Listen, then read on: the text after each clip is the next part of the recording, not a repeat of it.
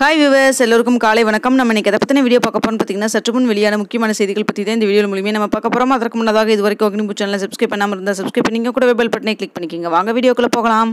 தமிழகத்தில் ஊரடங்கை நீட்டிப்பதா அல்லது தளர்வுகள் அளிப்பதா என்பது குறித்து முதலமைச்சர் மு ஸ்டாலின் அவர்கள் நாளை ஆலோசனை நடத்த உள்ளார். தமிழ்நாட்டில் உள்ள பள்ளி பாட புத்தகத்தில் இடம்பெற்றிருக்கும் தலைவர்களின் பெயருக்கு பின்னால் இருக்கும் ஜாதி பெயர்கள் நீக்கப்பட்டுள்ளன.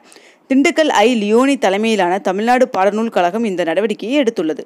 சென்னையில் அவ்வப்போது மின் இணைப்பு துண்டிக்கப்படுவது குறித்து புகார்கள் வந்ததன் அடிப்படையில் சென்னை அண்ணா சாலையில் உள்ள மின்சார வாரிய தலைமை அலுவலகத்தில் நள்ளிரவு நேரத்தில் அமைச்சர் செந்தில் பாலாஜி அவர்கள் திடீரென்று ஆய்வு மேற்கொண்டுள்ளார். மேகதாதுவில் அணை கட்ட எதிர்ப்பு தெரிவித்து தடையை மீறி பாஜக உண்ணாவிரத போராட்டத்தில் ஈடுபட்டனர். டீசல் விலை உயர்வால் இழப்பிலிருந்து தப்ப லாரிகளுக்கு சரக்கு ஏற்றுவது மற்றும் இறக்குமதி கூலி கொடுக்கப்பட மாட்டாது என லாரி உரிமையாளர்கள் முடிவு செய்துள்ளனர். தமிழகத்தில் முன்னூற்றி எண்பத்தி ஐந்து ஆசிரியர்களுக்கு டாக்டர் ராதாகிருஷ்ணன் விருது வழங்கப்பட உள்ளதாக தமிழக அரசு அறிவித்துள்ளது. சென்னை கலைவாணர் அரங்கில் வரும் பதிமூன்றாம் தேதி தமிழ்நாட்டிற்கான நிதிநிலை அறிக்கை தாக்கல் செய்யப்படக்கூடிய சூழ்நிலையில் இம்முறை பேப்பர் இல்லா பட்ஜெட் அதாவது இ பட்ஜெட் ஆனது தாக்கல் செய்யப்பட இருக்கிறது.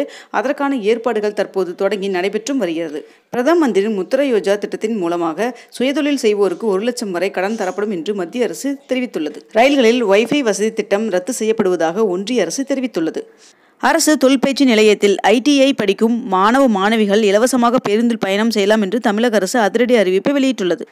தமிழகத்திற்கான நிதிநிலை அறிக்கை ஆகஸ்ட் பதிமூன்றாம் தேதி தாக்கல் செய்யப்படும் நிலையில் வேளாண் துறைக்கு தனி பட்ஜெட் தாக்கல் செய்யப்படும் என்று தெரிவிக்கப்பட்டுள்ளது. இந்நிலையில் வேளாண் துறைக்கான தனி பட்ஜெட் ஆகஸ்ட் பதினான்காம் தேதி தாக்கல் செய்யப்படும் என்றும் தெரிவிக்கப்பட்டுள்ளது. புறநகர் மற்றும் பயணிகள் ரயில்கள் உட்பட அனைத்து ரயில் பெட்டிகளிலும் சிசிடிவி கேமராக்கள் பொருத்துவதற்கான பணிகளை ரயில்வே அமைச்சகம் ஒப்புதல் அளித்துள்ளது. இருபத்தி ரெண்டு கேரட் ஆபரண தங்கத்தின் விலை ஒரு சவரனுக்கு நாற்பது ரூபாய் குறைந்து ஒரு சவரன் முப்பத்தி ஆறாயிரத்தி இருநூத்தி எட்டு ரூபாய்க்கு விற்பனையாகிறது. அதேபோல் ஒரு கிராம் வெள்ளியின் விலை எழுபத்தி மூன்று ரூபாய் முப்பது பைசாவாகவும் விற்பனை செய்யப்பட்டு வருகிறது. இந்த வீடியோ உங்களுக்கு பிடிச்சிருக்குன்னு நினைக்கிறேன். மேலும் பயனுள்ளதாக இருந்திருக்கும். பிடிச்சிருந்தா லைக் பண்ணுங்க ஷேர் பண்ணுங்க. மேலும் இது போன்ற தகவல்களை உடனுக்குடன் தெரிந்து கொள்ள அக்னிபூ மறக்காம சப்ஸ்கிரைப் பண்ணிக்கோங்க. கூடவே பெல் பட்டனை கிளிக் பண்ணிக்கோங்க. ஓகே விவஸ் நெக்ஸ்ட் வீடியோவில் பார்க்கலாம்.